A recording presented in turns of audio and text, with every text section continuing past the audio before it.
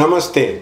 இந்த டிஎம்கேயில் வந்து ஸ்டாலினுடைய ஹாரோஸ்கோப்பை எடுத்து அவருடைய டேட் ஆஃப் பர்த்தை எடுத்து தசாம்சத்தில் போட்டிங்கன்னா அவருக்கு சனி குரு விருச்சிகத்தில் இருக்குது சூரியன் வந்து கடகத்தில் இருக்குது அதே மாதிரி சந்திரன் வந்து ஆறாம் வீட்டில் இருக்குது அந்த தசாம்ச சார்ட்டில் இன்னொன்று வந்து அவருக்கு வந்து சுக்கரன் வந்து ஆறாம் வீட்டில் இருக்குது அடுத்து செவ்வாய் வந்து எட்டாம் வீட்டில் இருக்குது ராகு கேது நாலு பத்தில் இருக்குது புதன் வந்து அவருக்கு வந்து சனியிலேருந்து ரெண்டாம் வீட்டில் இருக்குது ஸோ பேசிக்காக பார்த்தீங்கன்னா சனி குரு வந்து விருட்சிகத்தில் இருக்குது தனுசில் புதன் இருக்குது நாலாம் வீட்டில் ராகு இருக்குது ஆறாம் வீட்டில் சுக்கரன் சந்திரன் இருக்குது எட்டாம் வீட்டில் செவ்வாய் இருக்குது ஒன்பதாம் வீட்டில் சூரியன் இருக்குது பத்தாம் வீட்டில் கேது இருக்குது ஸோ ஃபர்ஸ்ட் ஆஃப் ஆல் இவருடைய தசாம்சப்படி பார்த்தீங்கன்னா பத்து குடையவன் ஒன்பதாம் வீட்டில் இருக்குது அப்பா செய்த தொழில் அப்பா பதிவு பண்ண தொழில் அப்பா பேர் பெற்ற தொழில் அந்த ரெண்டாவது வந்து அது அவங்களுடைய பரம்பரையாக வரக்கூடிய தொழில். அடுத்தது சூரியனால் பாலிட்டிக்ஸ் சம்மந்தப்பட்ட தொழிலாக இருக்குது லக்னாதிபதி அதாவது சனியிலேருந்து பிருகு நந்தி நாடியில் லக்னாதிபதி எட்டில் இருந்தால் அவர்களுக்கு வந்து ப்ராப்ளமேட்டிக்காக இருக்கும். அவங்க நினச்சது நடக்காது. அவங்க என்ன ஆசைப்படுறாங்களோ அது கிடைக்காது. அதில் ஏதாவது டிலே போஸ்ட்போன்மெண்ட் இருக்கும்.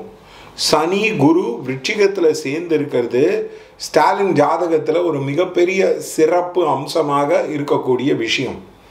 அப்படி பார்த்தீங்கன்னா கோச்சாரத்தில் சனியிலேருந்து ஆறாம் வீட்டில் வந்து குரு டிரான்சிட் ஆகுது. ராகுவும் ஆறாம் வீட்டில் இருக்குது அது ஒம்பது குடையவன் மேலே டிரான்சிட் ஆகிறதுனால அவங்களுக்கு வந்து பார்ட்டியில் வந்து நிறையா பிரச்சனைகள் இருக்குது ஒன்பது அப்படின்றது அப்பா ஒன்பது அப் அப்படின்றது கவர்மெண்ட்டு ஒன்பது அப்படின்றது சென்ட்ரல் கவர்மெண்ட் ஸோ அந்த சென்ட்ரல் கவர்மெண்ட்டோட மிகப்பெரிய ப்ராப்ளங்கள் டிஃபிகல்ட்டிஸ் அது எல்லாமே நடக்குது இப்போ. இந்த ராகு கேது பயிற்சி வந்து அவருக்கு ரொம்ப பேடாக இருக்கும். இது வந்து ஒரு எயிட் டு நைன் மந்த்ஸ் வந்து அப்படியே போகும். அதனால் நிறைய பேர் என்ன எதிர்பார்க்குறாங்கன்னா இந்த இது வந்து இந்த பயிற்சி வந்து ஆச்சுன்னா அவர் வந்து பதவி போயிடும். அவரை டிஸ்மிஸ் பண்ணிடுவாங்க.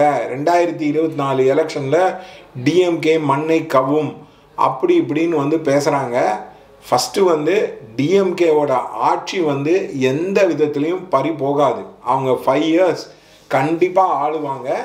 ரெண்டாவது விஷயம் வந்து அண்ணாமலை என்னதான் அக்யூசிஷன் பண்ணி அவங்க என்னதான் வந்து ரெய்டு கீடுலாம் விட்டான் ஏதாவது சில மினிஸ்டர்ஸ் வந்து ரிசைன் பண்ணக்கூடிய ஒரு லெவலாக இருக்கும். ஆனால் அதே வந்து அவருடைய கவர்மெண்ட்டே டிஸ்மிஸ் பண்ணுற அளவுக்கு இருக்காது. கேபினட் ரீஷஃபலும் இருக்கும். நான் மூணாவது இம்பார்ட்டன்ட் விஷயம் ரெண்டாயிரத்தி இருபத்தி நாலு தேர்தலில் ஏடிஎம்கே டிஎம்கேவோட பர்ஃபார்மன்ஸ் பிஜேபியோட பெட்டராக இருக்கும். இது வந்து அன்ஃபார்ச்சுனேட்லி குரு வந்து அந்த ரெண்டாயிரத்தி இருபத்தி நாலாம் வருஷத்தில் கிட்டத்தட்ட வந்து அது வந்து விருச்சிகத்துக்கு போகுது. அது சனி குருலேருந்து ஏழாம் வீட்டில் வந்து பார்க்கறதுனால கண்டிப்பாக ஸ்டாலினுக்கு வந்து இப்போ இருக்கிறத விட பெட்டர் டைமாகவே இருக்கும். அதனால் டிஎம்கே வந்து அப்படியே தோற்று போயிடும். ஃபைட் இல்லாமல் தோற்று போயிடும். அப்படி இப்படின்னு நினைக்கிறது வந்து மிகப்பெரிய தவறு. அஸ்ட்ராலஜி காம்பினேஷன் படி டிஎம்கே ஸ்டாலினோட ஹாரோஸ்கோப் படி is a brilliant fighter there will be a lot of fight back mechanism அவங்க வந்து எடுத்துகிட்டு வருவாங்க. அவங்க அஃப்கோர்ஸ் அவங்க என்கரேஜ் பண்ணுறது மைனாரிட்டி பட் அவங்களால அந்த சென்ட்ரல் கவர்மெண்ட்னால ஒரு பெரிய டென்ட்டு வந்து ச- ஸ்டாலினோட கவர்மெண்ட்டில் ஏற்ற பண்ண முடியாது. ரெண்டாவது ஆறாம் வீட்டில் ராகு ஆறாம் வீட்டில் குரு இருக்கிறதுனால சத்ரு உபாதைன்றது வந்து ரொம்ப அதிகமாக இருக்கும். அந்த சத்ரு உபாதைக்கு வந்து அவங்க சத்ரு சம்மார ஹோமம் பண்ணிட்டா நல்லா இருக்கும் சத்ரு சமார்னது நரசிம்மர் சுதர்சனர் ஆஞ்சநேயர் அவங்க மூணு பேருக்கும் பண்ணுறது தான் வந்து சத்ரு சமார ஹோமம். அந்த ஹோமத்தை நாங்களும் பண்ணி வைப்போம். நிறைய பேருக்கு பண்ணி வைத்திருக்கணும். ஸோ ஸ்டாலினுக்கு வந்து சத்ரு கை ஓங்கிறது சத்ரு விஷயங்கள் நடக்கிறது அதனால் அவங்களுக்கு இது ரொம்ப ரொம்ப ஒரு டிஃபிகல்ட்டான டைமாக இருக்கும். அதற்காக அவங்க வந்து சத்ரு சம்ஹார பூஜை வந்து பண்ண வேண்டியதாக இருக்கணும் அதுதான் இதோட ரொம்ப ரொம்ப இம்பார்ட்டண்ட்டு ஸோ ஸ்டாலினுக்கு வந்து இப்போ வந்து டிஃபிகல்ட் டைமாக இருக்கும். இன்னொரு eight to nine months difficult டைமாக இருக்கும். ஆனால் அவர் பல களங்களை சந்தித்திருக்கிறார். பல புயல்களை எதிர்கொண்டிருக்கிறார். பல பேட்டில் வந்து செஞ்சிருக்கிறாரு.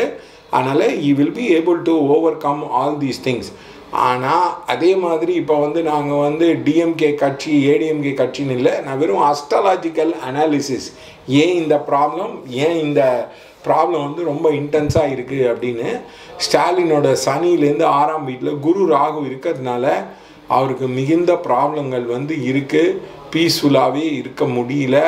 அண்டு uh, அவ அவங்களுக்கு வந்து நிறைய மி அவங்களுக்கு வந்து அவங்களுடைய மினிஸ்டர் அவங்களுடைய ஏரியா ப்ராப்ளம்னால நிறையா வரக்கூடியதாக இருக்கிறது.